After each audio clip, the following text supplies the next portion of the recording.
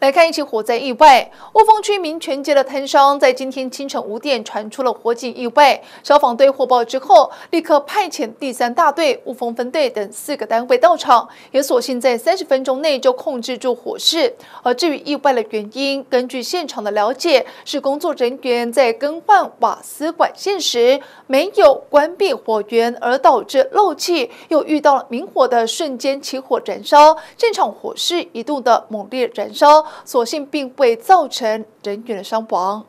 清晨五点，位在雾峰区民权街上的炭商起火燃烧，整个店家都被火势包围，一片通红，还不时传出爆炸声响。消防队接获报案，立刻派遣第三大队、雾峰分队等四个单位到场灭火。那我们获报之后，很快出动辖区雾峰分队，然后还有邻近的仁化及大理分队，还有我们第三大队大队部前往现场救灾。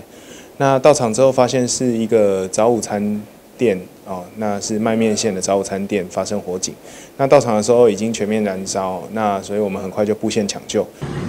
好好啦，我是要换家私，阮咧有咧药味的啊，我换家私台啊，哎，啊拔开就收袂起来。经查本案无人员受伤，财物损失目前在尚待清查中。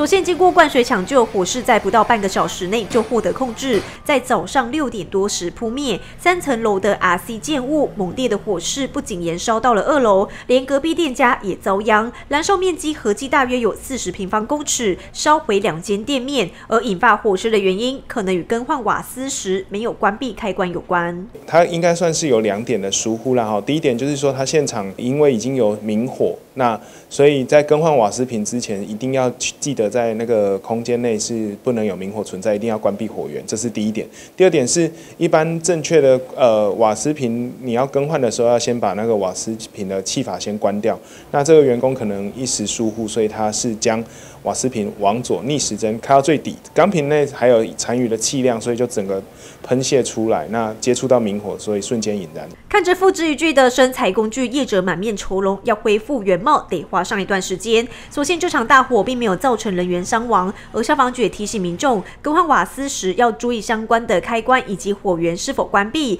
以免造成意外。借装饰艇陈庄台中采报道。